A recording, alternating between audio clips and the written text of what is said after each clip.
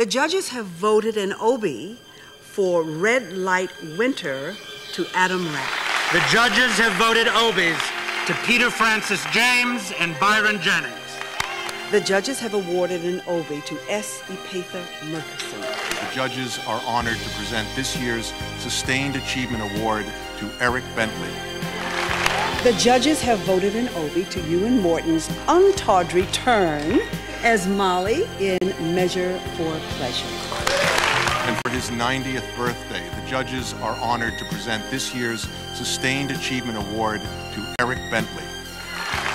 The judges award an Obie for playwriting to Rolin Jones. The judges award an Obie to Marin Ireland. The judges award an Obie to Sherie Rene Scott. The judges have voted an Obie to John Clancy. The committee awards Edge Theater Company a $3,000 grant. The judges have voted an Obie to Edwin Lee Gibson. An Obie grant of $3,000 has been voted to the Red Bull Theater. The judges have voted an Obie for sustained excellence to my darling Alan Moyer. For keeping it real and keeping it in the community for over 30 years, the judges have awarded a $3,000 Obie grant to Billie Holiday Theater. The judges have voted an Obie to Martin McDonagh for the Lieutenant of Inishmore. The judges award an emerging playwright Obie grant of $1,000 to Nina Bieber. The judges have voted an Obie to the National Theatre of the United States. The judges are delighted to present the, the Ross Wetzsteon Memorial Award to Soho Rep. The judges award Obies to Ari Fliakos and Scott Shepherd. The judges have awarded an emerging Obie playwright to one, $1,000 to Rinne Groff. Thank you. Thank you. Good night. Good night.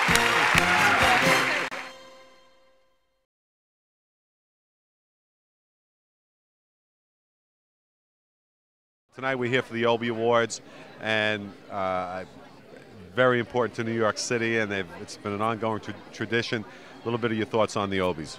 The Obies signified everything of value to me because they were an award that both awarded excellence, but specifically excellence within a downtown experimental nonprofit context. They were an anti market award.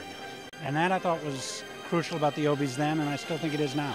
But what we are is we create exciting work. We create, we energize a city, um, and we and we create conversations of, of, of what's going on. I think they're equally as important as the Tonys because it's really an opportunity for art to take place. A lot of times you don't. When you get to the Tonys, it's about commerce.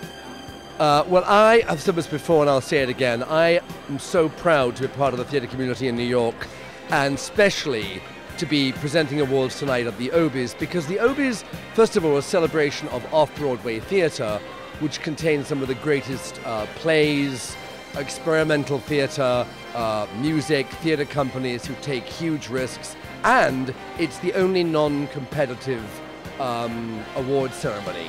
The Obie Awards, it's a, you know, it's not a nomination. We were just talking about it over on the other side of the room. Uh, it's not. Uh, you're weighing against your colleagues. It's just this many are handed out as uh, an honoring thing. It's lovely. It's just lovely.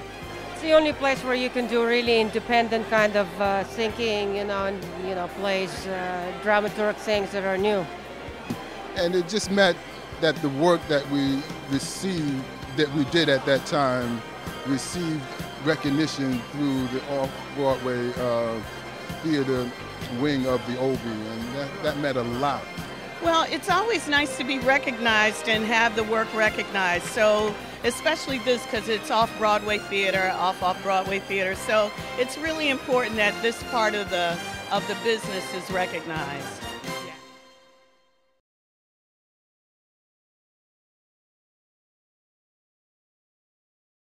Welcome to the Obies.